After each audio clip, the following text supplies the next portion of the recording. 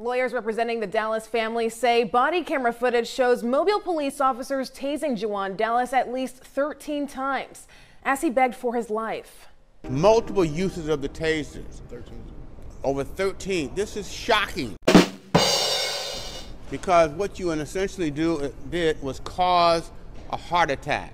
An autopsy report obtained by NBC 15 News shows Dallas died from cardiorespiratory failure due to a heart attack, coupled with the use of meth and synthetic marijuana.